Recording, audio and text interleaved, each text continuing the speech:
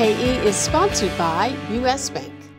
Milwaukee County Executive David Crowley has a plan. He wants to make Milwaukee County the healthiest county in Wisconsin. And he's getting all of us involved through the Healthy County Challenge. Joining us with the details and info on how we can become involved is Milwaukee County Executive David Crowley. Thanks so much for being here with us. Oh, it's always a pleasure to be with you. Thank you for having me. What is the Healthy County Challenge?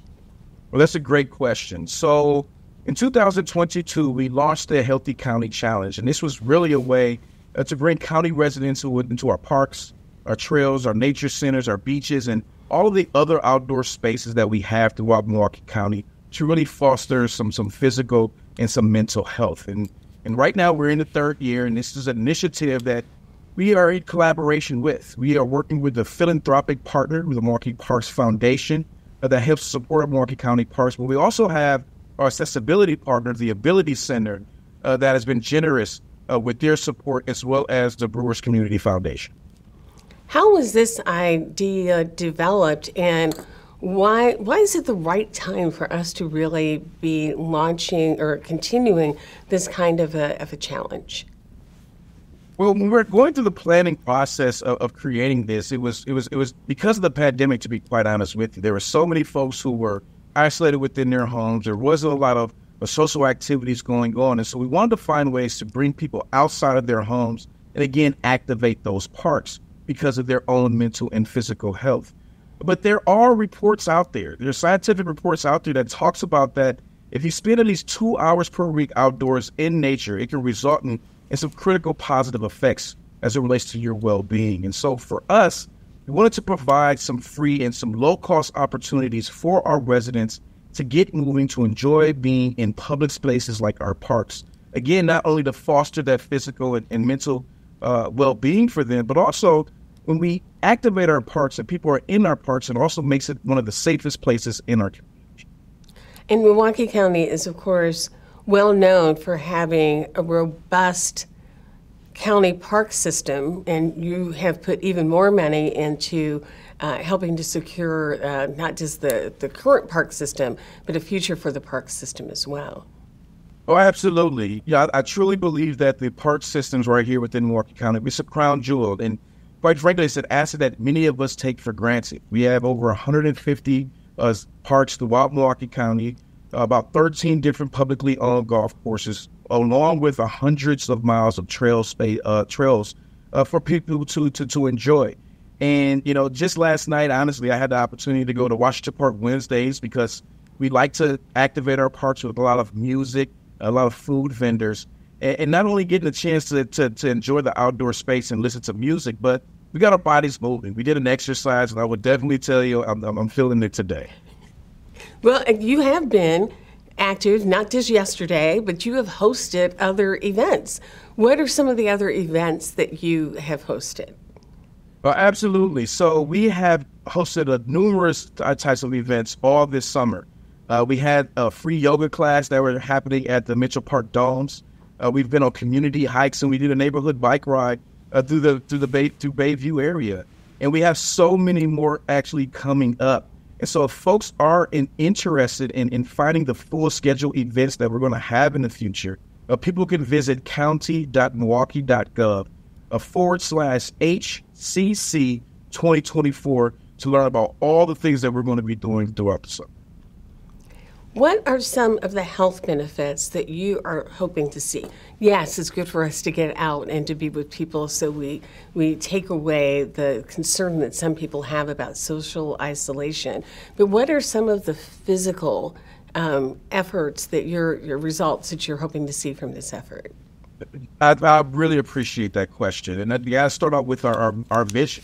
And our vision at Milwaukee County is that by achieving racial equity, we can become the healthiest county in the state of Wisconsin. And the reason why we have that vision is that when we look at health disparities, they largely fall along racial lines. And so, for example, particularly when it comes down to, to, to men in general, uh, but also black men, we see a rise in heart disease. We see a rise in many different things that affect our heart, our lungs. And we just need to get our, our, our, our blood pumping, to be quite frank with you. And so, it is our goal that we can reduce many of the, the, the diseases that we see uh, in our community, particularly heart disease, um, it, in men, in people of color, because we know that it's extremely prevalent right here within the city of Milwaukee and Milwaukee County. So it is my goal, and we know that everybody's not going to be, you know, you know, buff. We're not asking everybody to do a marathon or anything like that or lift any heavy weights. We just want to get people up and moving. And when you get your blood flowing, that can create many different health benefits for everyone, no matter what age you are. Are you therefore really kind of looking at targeting some parks which may be able to reach communities that may have some health challenges in the work that's being done with the Healthy County Challenge?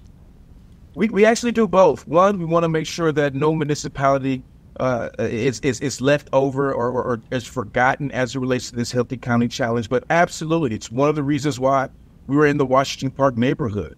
Uh, one of the reasons why we were in the Bayview neighborhood, particularly starting off, uh, actually off of, uh, I want to say Fourth and National, and riding all the way, uh, you know, as south to South Shore through the Bayview neighborhoods, because these are the communities. Communities of color are directly impacted uh, by the health disparities that we see today. And when we look to the future, we're going to be, you know, doing a run near Juneau Park. We're going to be doing a, a community day at Noyes Park with, with, with First Tee to have some golfing. And then we uh, particularly go to the Schultz Aquatic Center to make sure that we have a community pool day because we know, particularly just around the entire county, we have issues. But yes, we are making sure to, to, to plan as many events as possible, particularly in hotspots where we know that heart disease or just poor health are more prevalent than others. If people look at the calendar of events and they can't make it, um, what can they do to embrace the idea behind the Healthy County Challenge, even if they're doing it on their own? Well, one, you can always tag our parks department about how you are utilizing all of our public spaces to focus on your own mental and physical health.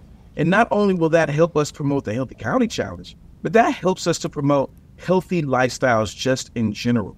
And so, you know, I tell folks all the time there are three things that all of us can do in our spare time to give back, and that is to give our three T's. The first T is our time. How do we volunteer and utilize our time to bring awareness to a particular issue or fix or bring a solution to a particular problem? The second thing is, is, is our talents, and many of us have different talents you may be able to sing, Denise. I definitely don't have the talent of singing, but how do we utilize, you know, dance? How do we utilize art? How do we utilize people's talents to bring awareness to a particular issue or to create a level of engagement? And if you don't have the time and you don't have the talents, we ask for treasure. And that's what's great about our partnership with the uh, Parks Foundation, that you can always donate in making sure that not only are we we're able to do the Healthy County Challenge, we're able to invest back into our parks, which definitely contributes to positive developments in our mental and physical health. Well, thank you, County Executive, for being with us and talking about this important initiative. It is always a pleasure to have you on Connect MKE. Well, I appreciate this platform and thank you for having me. We always got a story to tell and a vision to share. And we will see you out there at these events. Absolutely. Can't wait to see the listening audience out there as well. All right. Thanks so much. We're back in just a minute.